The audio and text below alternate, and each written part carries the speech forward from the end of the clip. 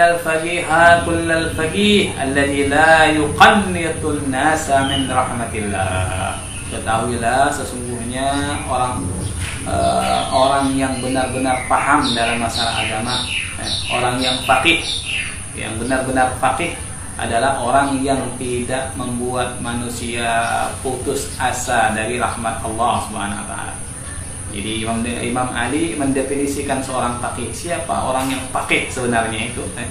Jadi orang yang benar-benar faqih, benar-benar paham eh, akan agama Allah Subhanahu wa taala adalah orang-orang yang tidak membuat manusia putus asa dari rahmat Allah Subhanahu wa taala.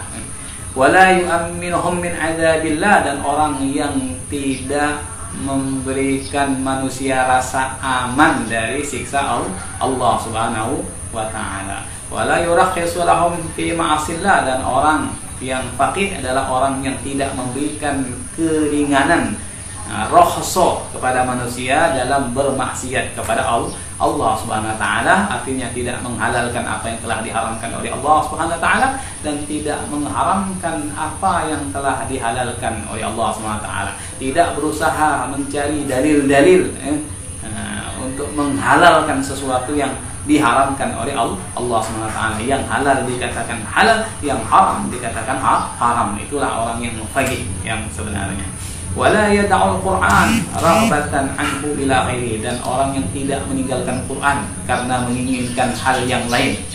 Nah, tidak meninggalkan Quran ya, uh, untuk menuju perkara yang yang lain ya